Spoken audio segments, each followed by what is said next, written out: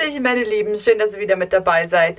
Ich habe mir gedacht, ich mache mal wieder ein Outfit of the Week Video für euch. Das hat euch ja beim letzten Mal ganz gut gefallen. Und ich dachte, es ist mal wieder soweit. Ich habe natürlich viele Sachen jetzt, die ich gerade gern trage, die ich in meinem Haul neulich gezeigt habe. Wenn ihr den noch nicht gesehen habt, dann verlinke ich euch den mal hier oben. Und ich habe noch ein paar neue Sachen, die habe ich netterweise zugeschickt gekriegt von Rumby und von She Inside. Da habe ich ja früher mal schon gern bestellt und jetzt sind die so nett und schicken mir mal was zu. Da habe ich ein paar Sachen, die wollte ich euch natürlich auch noch gerne zeigen. Genau, und ich habe jetzt den ganzen Tag hier ehrlich gesagt so rumgelauncht und hatte nur so ein komisches Oversize-T-Shirt an. Ich meine, das will nur auch wirklich keiner sehen, ne? Und ich will euch ja auch mal so ein paar Inspirationen zeigen. Also fühlt euch da auch nicht immer dann so verpflichtet, dass ihr euch alles gleich nachkauft und dass ihr denkt, oh, die Risi zeigt uns dauernd neue Sachen, muss ich mir das jetzt alles kaufen? Also ich schaue solche Videos total gern einfach als Inspiration und denke mir so, ah, so einen ähnlichen Pulli oder sowas, das habe ich doch auch.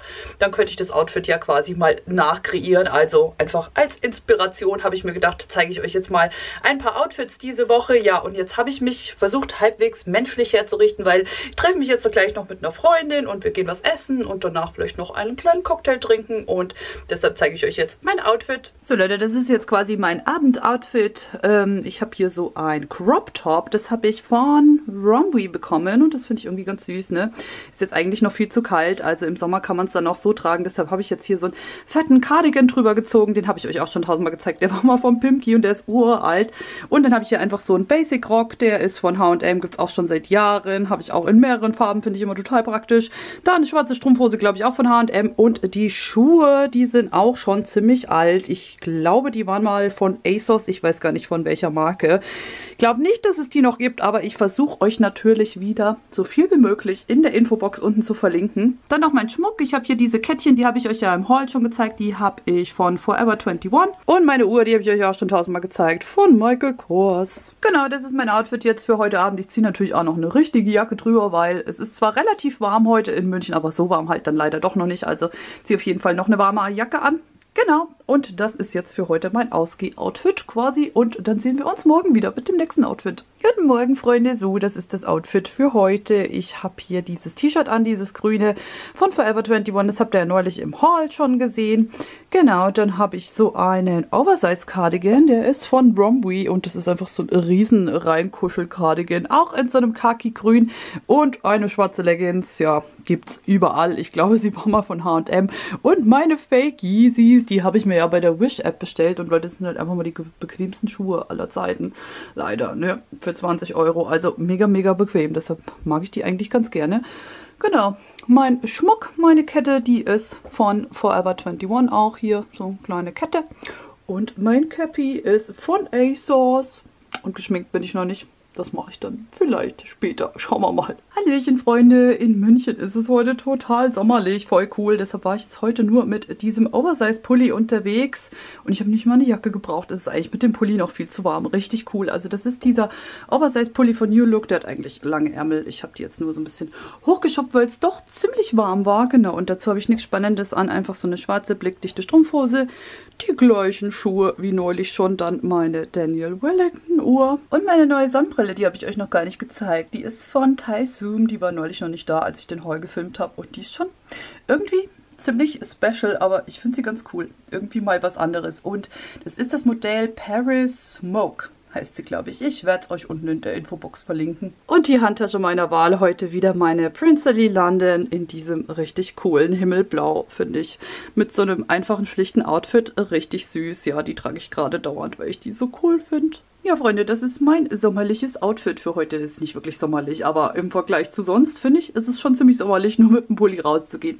Also, das war's auch schon. Ich würde sagen, dann sehen wir uns morgen wieder mit dem nächsten Outfit. Guten Morgen, Freunde. So, ich habe mir gedacht, ich könnte euch eigentlich auch diese Woche meine Sportoutfits zeigen, wenn ich zum Sport gehe. Ich weiß nicht, vielleicht interessiert das ja auch jemanden.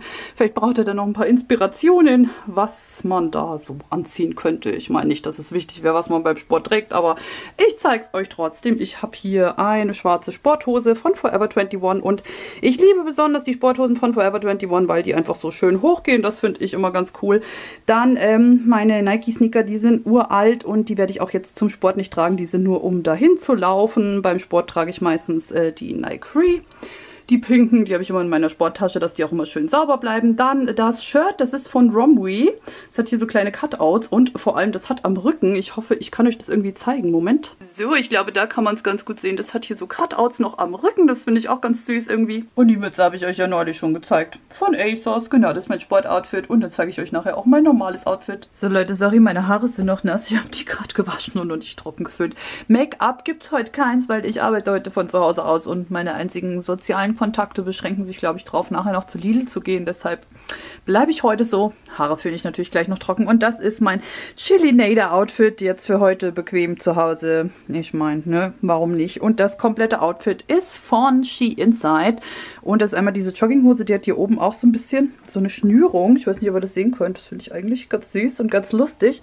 Und genauso der Pulli, der ist auch hier oben so geschnürt. Genau, das ist mein Outfit. Ach, und meine Schuhe sind die Adidas Tubular Radiant heißen die. Genau, die finde ich auch ziemlich cool und super bequem und ja, damit werde ich jetzt den, den ganzen Tag hier quasi rumlaunchen. Hallöchen, Freunde. So, ich bin gerade von der Arbeit gekommen. Sorry, wenn es schon ein bisschen dunkel ist, aber in der Kamera sieht es gar nicht so dunkel aus. Ne, es geht noch. Es ist jetzt schon Nachmittag, genau. Und das ist mein Outfit für heute. Ich habe hier so eine schwarze Jeans an von Zara und da habe ich so eine Netzstrumpfhose drunter. Ich weiß gar nicht, ob ihr das richtig sehen könnt. Ich komme mal näher. Da könnt ihr das, glaube ich, ganz gut sehen. Also die ist schon sehr, sehr eingerissen. Die Hose, die ist schon uralt. Gab es mal beim Zara. Genau, und dann diese Strumpfhose, die habe ich bei der Wish-App bestellt. Dann meine Adidas Superstars habe ich dazu mit an. Und dann hier so ein Sweatshirt und das hat hier oben so ein Mesh. Das habe ich von She Inside bekommen und das finde ich irgendwie ganz cool. Das ist so ein bisschen inspiriert von Carly Christman. Kennt die irgendjemand von euch? So eine amerikanische Fashion-Bloggerin. Müsst ihr euch unbedingt mal anschauen. Das Instagram-Feed von der. Ich finde, die hat einen ziemlich coolen Style und die trägt irgendwie nur schwarz immer und immer mit so Texturen, mit so Mesh und solchen Sachen. Also mag ich gerade ganz gerne den Style, ja. Und schwarz braucht man nicht viel überlegen, ne? Passt natürlich immer zusammen. Genau, und das ist mein Outfit für heute. Meine Uhr ist wieder die Daniel Wellington, wie so oft. Also es war eine super Investition, Leute. Die trage ich echt so, so oft, die Uhr. Genau, und viel mehr ist es heute nicht. Und dann sehen wir uns morgen wieder dem nächsten Outfit. Ein neuer Tag, ein neues Outfit. Leute, ich bin heute fast komplett in schwarz. Ein bisschen grau habe ich noch mit dazu äh, kombiniert. Ich habe heute meinen wilden Tag. Ne? Ich bin ja meistens nicht so farbenfroh unterwegs. Also mein Cardigan, den habe ich euch, glaube ich, schon 800 Mal gezeigt. In jedem Lookbook-Outfit-Video ist der mit dabei. Aber das war echt einer der besten Käufe ever. Der war mal von Pimpki.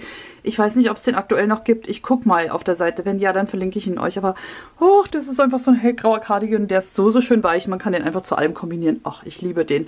Dann habe ich hier mein Shirt. Das ist von She Inside. Und das ist quasi so ein langes, so ein T-Shirt-Kleid. Und das hat hier so Cutouts überall. Seht ihr das? Ja, hier und hier.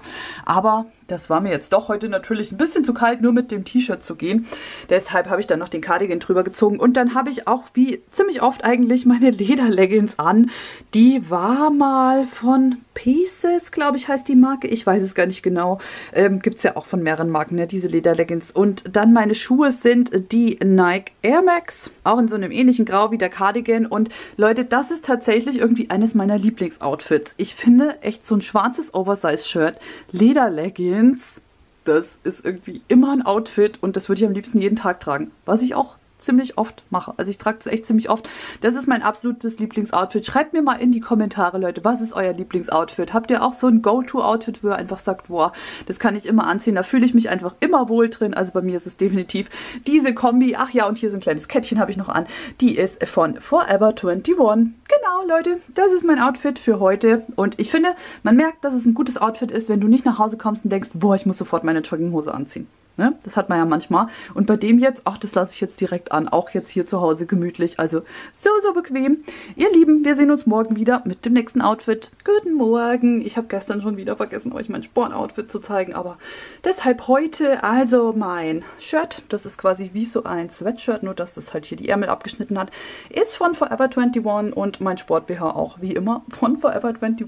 Die haben einfach echt die coolsten Sportsachen, Leute. Also für den Preis richtig cool. Ich mag die total gerne und dann wollte ich euch eigentlich, das ist echt ein bisschen schade, diese Leggings zeigen von She Inside, die eigentlich sehr, sehr cool ist, finde ich. Die hat hier neben diese Cutouts und Ach, ich finde sie sehr, sehr schön. Aber Leute, ich muss es euch leider sagen, es hilft ja nichts. Nicht, dass ihr euch die bestellt und enttäuscht seid. Die ist leider durchsichtig. Also so, wenn man normal steht, geht's. Aber sobald man sich bückt, ist die hinten am Popo leider sehr, sehr durchsichtig. Und ich meine, auf so einen peinlichen Fade im Fitnessstudio kann ich ehrlich gesagt verzichten. Und ich glaube, ihr auch. Also schade, weil die ist echt ziemlich cool, so mit den Cutouts. Ich glaube, ich werde die vielleicht dann einfach so tragen, ähm, jetzt nicht zum Sport und werde die einfach jetzt mit so einem äh, Longshirt tragen, was den Popo ein bisschen abdeckt, weil so, das ist mir echt ein bisschen so riskant. Schade, weil eigentlich an sich sehr coole Sporthose. Ich habe jetzt die Größe L genommen und die passt auch gut an sich, alles cool. Aber ne, leider durchsichtig. Also finde ich jetzt ein bisschen schade. Ähm, ich werde jetzt noch eine andere anziehen. Ich werde einfach diese ganz normale schwarze von Forever 21 anziehen, die ich neulich auch anhatte. Die ist wesentlich durchsichtig. Genau. Und Schuhe habe ich heute die Adidas Neo. Äh, die sind uralt. Die habe ich mir in Miami im Outlet gekauft letztes Jahr. Ich weiß nicht, ob es die hier irgendwo gibt. Ich habe die schon versucht euch zu verlinken, aber genau, die mag ich total gerne und die sind sehr, sehr bequem. Die ziehe ich an. Ja, und dann ist das jetzt erstmal mein kleines Sportoutfit. So, und das ist mein Outfit für heute. Mein Pulli, der ist übrigens nicht schmutzig. Er ist nur nass. Ich habe gerade meine Hände gewaschen. Ich habe gerade gesehen, dass ich ihn ein bisschen nass gemacht habe. Also ich habe schon geschafft, ich habe ihn schon zwei Stunden an und habe schon geschafft, ihn nicht schmutzig zu machen. Wow, neuer Rekord für mich. Also ich trage heute meinen Ivy Park Sweater, den habe ich mal bei Zalando im Sale gekauft. Und dann habe ich hier meine Jeans von ASOS. Das ist eigentlich so eine High-Waist Jeans, aber heute trage ich den Pulli mal drüber. Und meine Schuhe, die sind von Nike und die sind auch uralt. Ich weiß gar nicht, was das für ein Modell ist. Moment, ich muss mal kurz gucken. Luna Forever heißt das Modell. Ja, und da habe ich mich geschnitten an meinem Fuß, falls ihr euch fragt, was das ist. Genau, ich weiß nicht, ob es die noch gibt, aber die sind auf jeden Fall in so einem schönen Blau und Türkis und finde ich ganz süß mit der Hose. Ja, das ist mein Outfit für heute, liebe Freunde. Bis morgen. Hallöchen, Freunde, ich gehe jetzt gleich ins Kino, deshalb gibt es auch heute wieder ein gemütlicheres Outfit. Ich habe mich jetzt gerade entschlossen, ähm, die Hose nochmal anzuziehen, die ich gestern anhatte von ASOS, weil ich die gestern nicht wirklich lange anhatte. Ich bin dann doch sehr schnell wieder in meine Leggings gewechselt, weil es einfach noch bequemer ist. Deshalb dachte ich mir, ziehe ich die jetzt heute nochmal an, weil die ist schön bequem und stretchy und ich gehe jetzt gleich noch essen passt einfach mehr rein. Und dazu habe ich meinen, das ist glaube ich echt mein Alltime favorite Pullover. Der ist mal von H&M gewesen. Ich glaube, den gibt es aktuell gar nicht mehr, aber der ist so hellrosa mit Roségold hier vorne drauf und ich liebe den so, so sehr. Oh, der ist einfach so schön kuschelig. Ich habe den schon ewig und ich hatte den damals ein bisschen größer genommen. Ich glaube, das ist die Größe M oder L, keine Ahnung. Und der ist einfach so richtig schön oversize-mäßig und bequem. Und meine Schuhe, die sind leider auch sehr, sehr alt. Die waren mal von Deichmann und die sind so rosé mit goldenen Glittersteinchen drauf. Die finde ich auch sehr, sehr cool. Mag ich total gerne, aber die gibt es leider nicht mehr. Ich versuche mal, euch so ähnliche noch zu verlinken. Genau, und das ist mein Outfit heute. Mein Kinoabend-Ausgeh-Outfit Outfit. Mein äh, Outfit tagsüber war heute nicht so spannend. Heute nur obenrum, weil ich habe vorhin Videos für euch gefilmt. Und da ist ja immer, ne? Oben schick und unten Assi-Style wie immer. Deshalb ist das jetzt mein Outfit, mit dem ich tatsächlich auch raus in die Öffentlichkeit gehe. Ja, meine Lieben, ich hoffe, dass euch das Lookbook, Outfit Diary, wie auch immer, Spaß gemacht hat, dass ein paar Ideen und Inspirationen für euch mit dabei waren. Oft ist es ja so, ne, dann sieht man irgendwie ein Outfit und denkt sich so, ach, sowas ähnliches habe ich, das könnte ich eigentlich auch mal wieder anziehen. Also dafür finde ich das ganz gut. Und ich zeige euch halt einfach auch meine ganz normalen Alltagsoutfits, weil ich meine, man sieht ja immer äh, sehr schöne Outfits, aber da denke ich mir, wo soll ich das anziehen? Wenn ich zu einem Hängelmann gehe, brauche ich jetzt äh, nicht so fancy Klamotten anziehen. Also deshalb dachte ich mir so ein bisschen Alltagsinspirationen. Wenn euch das Video gefallen hat, freue ich mich wie immer über ein Däumchen hoch und über ein Abo. Und dann sehen wir uns hoffentlich beim nächsten Mal wieder. Danke fürs Zuschauen, macht's gut.